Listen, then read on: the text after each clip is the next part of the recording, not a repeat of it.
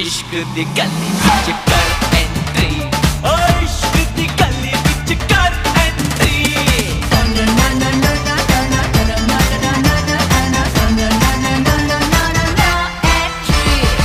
कहते हैं, यार